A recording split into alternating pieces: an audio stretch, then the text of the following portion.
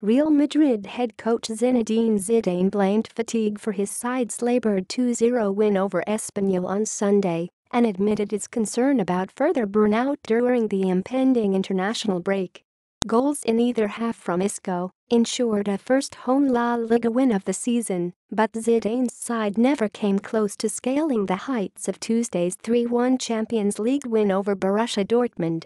Read, Isco brace helps Real Madrid beat Espanyol. The game at the Santiago Bernabeu was Madrid's seventh in a little over three weeks, and Zidane believes a busy schedule was to blame for his side's uninspired performance.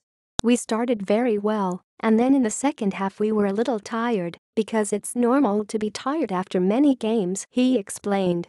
What worries me is that a lot of my players will not rest because they go with their international teams. One of those players is Gareth Bale, who will team up with Wales for its Crunch World Cup qualifiers against Georgia and the Republic of Ireland despite missing the win over Espanyol. Zidane added he could have been in the squad, but since he still had trouble, we decided to leave him out. He's had a lot of games, and he's had a four-month injury, and in the end it's a precaution.